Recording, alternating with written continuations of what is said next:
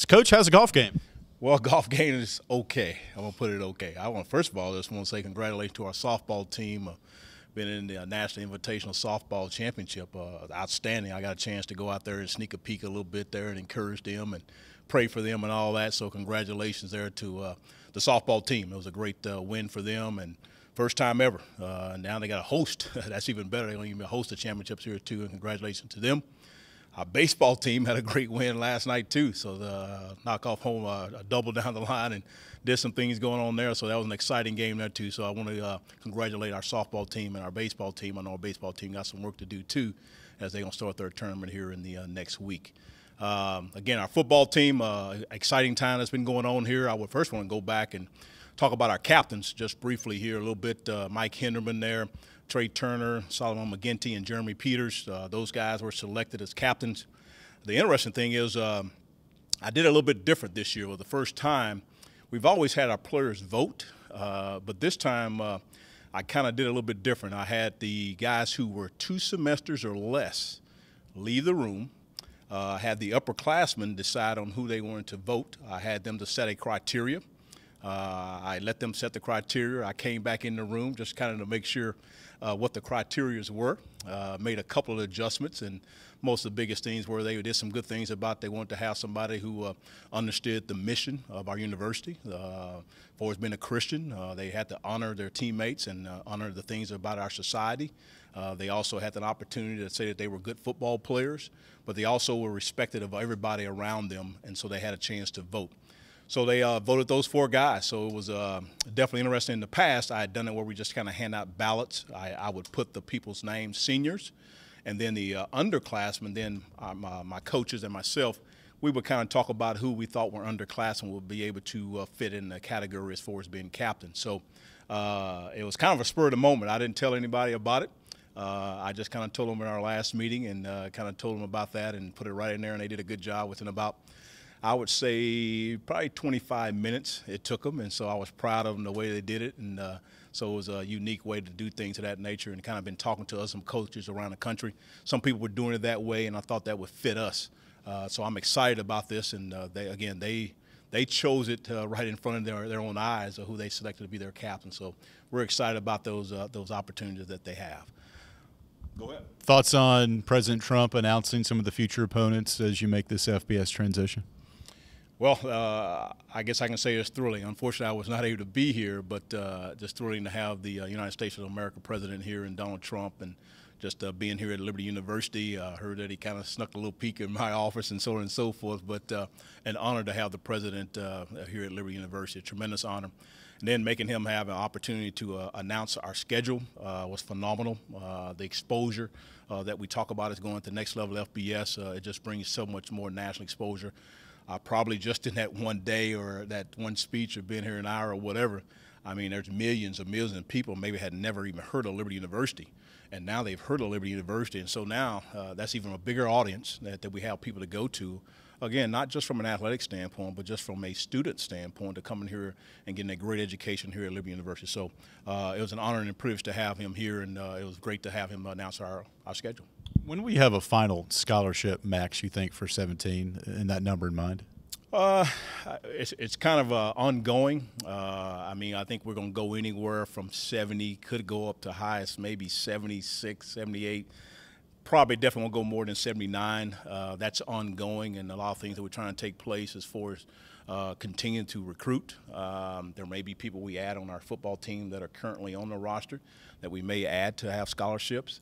I think in the next two years, I think it is that we have to average, I believe it's 76 don't quote me for sure on that, but there's a certain number that we have to average in the next two years to continue to make the uh, FBS move. As for we have to be conscious of that. So we've been talking about it, uh, Ian and I, and uh, a lot of things are going into play, and a lot of things we have to to conquer. And talking about that with compliance. Uh, so there's a, a, lot of other things that we have to be aware of that we have to accommodate to fit the uh, the FBS model. Does having the 2018 schedule in hand help on the recruiting trail? You're able to, you know, look at those recruits for the next coming years and say, you know, this is who we're specifically playing? And obviously Auburn, Virginia, and some of those others.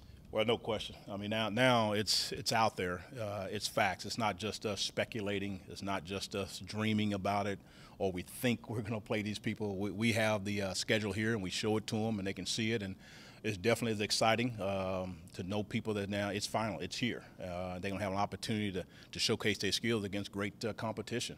And, and again, it's going to be a challenge for us, but again, it's exciting about the opportunity and exciting about Liberty University and uh, uh, for us to be playing great schools and then having schools come in here. Uh, again, I think that was a phenomenal thing there. Having our first FBS game is going to be against Old Dominion right here at home, and so I know our fans will be tremendously excited right here in state as far as Old Dominion of Virginia. I hope that we could play them every year. I know we don't have that set at this point in time, but that's something that I would be for as far as having a, uh, really a game with them. If you want to call it a rival game or whatever you want to call it, to say let's play them in the next 10 years, uh, Old Dominion on a regular basis. Also having North Texas, that's a team that you know you've got personal uh, connections to. What does that mean to you to be able to go there and then also come here? Well, I, I, think the first thing comes to my mind is just uh, the recruiting. Uh, the state of Texas, which we do recruit the state of Texas. We do have uh, some players there, and and I actually got my degree at the University of North Texas as far as where I finished there and all that. And so there's going to be some good meeting things there and all that. And just another opponent to get them here to come here is outstanding. I think Ian McCaw and Mickey Guridi have done a tremendous job of putting this schedule together. I know a lot of people may think that that's pretty easy to do, but – it's very, very challenging. And I can just applaud them to say great job because uh, they put together some things here that uh, I didn't think would happen, particularly here in a short period of time. Uh, that, that's amazing. So uh, we just uh, give God, uh, God the glory. When you look at the roster that was just released today, you mentioned running back situation early with Todd going down. That was an area of concern. But with Stefan electing to transfer, Joseph Dixon, Didier Monsiano also electing to leave, what does that leave in the running back pool for you? Well, we got uh, uh, Kentori Matthews is going to be coming in here. A young man there at Blinn Junior College uh, is now out of uh, Virginia Beach, uh, Tallwood High School. Uh, he's going to be in the mix. Um, Mitchell Lewis, uh, we're going to move him back to the uh, running back spot. Uh, so we're, we're, going to be solid there. again, we got good depth in Hickson and then also with Mosley, and we'll have one or two other guys that we'll put in there and find out what's going to be the best situation. So we just felt like we need to get at least one more and uh, again, I think we're going to be in good shape, though. Uh, again, Kentori Matthews is a guy that's probably, I, am to say he probably will be the fastest guy probably on our football team in the 40 uh, yards as far as that goes. So he will bring some speed.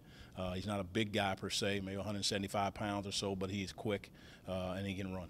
With Stefan, with his leadership in the locker room and what he exhibited last year, how much of a loss is that, especially with you know this transition, probably needing him to help with these young guys this upcoming year? Well, I think we've got some good leadership here. I just start with our captains, and we got some other guys too that I think that really can fit into things. Obviously, Stefan, uh, you know, did a great job for us here at Liberty University, and he got his degree and graduated. That's all you can ask our guys to do is graduate, and he has a right if he wanted to, to go to another school, he uh, choose to do that. But uh, again, we'll have a, another quality people to to make sure that we can get our young guys and even guys that maybe have only played one year or so understand what that needs to take place and as that goes. And obviously, I think Stephen Calvert's going to be, Buckshot's going to be one of those guys that step up and play a lot of ball. He's still a young guy when you stop and really think about it, but uh, he's played some uh, good football. Tyron Holloway is another big uh, loss there in the secondary. Uh, what, what, do you see out of some of the returners there being able to step in and fill his shoes? Well, again, thank uh, Holloway for all of his services and things that he did. Again, he got his degree and he chose to decide to want to to go somewhere else, and uh, that's his choice. Uh, again, Tyron Holloway is a good man. Uh, I appreciate all he's done. I think our players that we have as far as coming back, I think Chris Turner still is a guy that's going to have a great opportunity to do some things. We got Jeremy Peters, uh, Jimmy Fox has played some experienced football. Malik Matthews, Malik Matthews is the guy that we're really counting on. Last year he got hurt. You didn't see a lot of him, but he's a talented young man, and he's going to have to come step up and do some things. And, and to continue to recruit. Uh, we'll find some other guys there too that can compete for the positions. Frankie Hickson's been a solid back for you his first two years. Is this uh, a chance you think for him to have a breakout season for you this year? Well, it's going to be great competition. Carrington Mosley is a big, uh, big man that can get some things done. And uh, again, we're going to play a lot of them. They're both going to play quite a bit, and you know who start, who doesn't start, and all that. I know there might be a little bit of that, but uh, again, we got two quality guys that we know that can be very, very productive for us, and we'll find somebody else that uh, the third guy, the fourth guy, whatever that's going to help us. So Hickson's going to have to earn it. Uh, he's a good football player. He's going to also be very instrumental in our special teams in a lot of different ways. Defensive line took a hit with Will Brown, Javon Frazier, and DeCarlo Hamilton all electing to leave. How are you looking to replenish you know, the front side, especially the interior, to really make sure you have some depth for next season? Well, I think that's part of what we're doing right now here in the junior college ranks here. We're out recruiting and getting some people here. We have one young man there, Charles Franklin, is coming in our way as far as a defensive uh, a tackle. As you're talking about the interior side of it, we're still recruiting, hopefully get one or two more guys. And so we'll see how that goes. Again, our coaching staff will do a great job, and we'll go out and recruit, and we'll find some people who fit Liberty University and be able to come in here and produce and, and play. So we'll have people ready to go here when we uh, ready to line it up on September 2nd. What are your expectations for uh, Buckshot this year? What do you expect from him uh, his sophomore season? Well, I expect for him probably the, the, thing that we've been talking about and really trying to get him to improve on and hopefully during the summer and, and do all the time in his individual work that he does on his own is for him to be able to throw the ball a little bit better outside the pocket, throwing the ball on the move, throwing the ball in awkward positions and being accurate with that. So he's very accurate in the pocket and when he got to throw it on time, when he got to throw the ball deep, short, or whatever it is. We just now want to get it more accurate when he's on the move. And so I think that's what he's going to work on, and we're excited about that opportunity that he has. Mason had a good spring. Does that uh, put a little extra, uh, I don't know, fire in, in Buckshot to make sure that he's on top well, of competition. We, we want competition, and uh, there's no question about that. That we want the competition at every position. And uh, Mason Cunningham, uh, we've told him that you know Buckshot's going to start the first game unless there's just some other reason, some injury or something comes up. Uh, but he's going to be our starter, and uh, he's going to come come in and compete. Uh, right now, he would be our backup guy. again, there still can be some competition that will come in here and see what happens with Rudd and, and, and David Jeremiah, and, and see what happens with who else we may bring in as a walk-on. Go ahead to use the inside facility yet?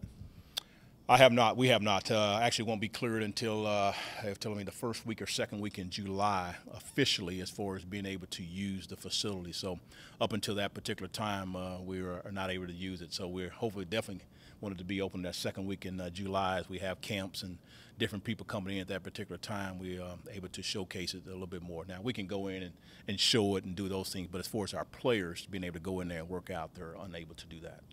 Are you going to keep an eye on uh, what's happening with Chris Turner from a legal perspective and kind of monitor that and let the legal process, you know, run its course? Oh yeah, we, we, we just uh, kind of let that take care of itself. Again, he's a student here and he's a member of our football team, and, and we'll just see what happens.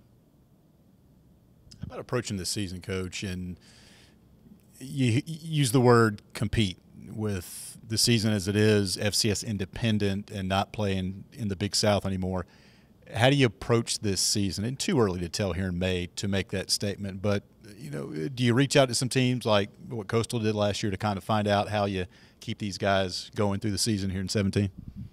Uh, I've, I've, already talked to a few uh, uh, coaches as far as that have been through this process and this journey and, and all that. And I think for what we want to do is we just want to go out and complete, uh, compete every single uh, down, every single play. We don't want to get into – well, because we can't win a championship, this, that, and the other. Again, we're competitors. I'm a competitor, and when you go out there and you coach and you teach and you develop, you're out here trying to play the best that you can and trying to win every single football game that you can. So uh, I don't think that that's going to be a problem. I think people have said that's really not been an issue, and maybe more somebody whether we're going to play them or not play them. Uh, I think right now, leaning toward probably playing most of our guys. Again, unless something happens uh, later on.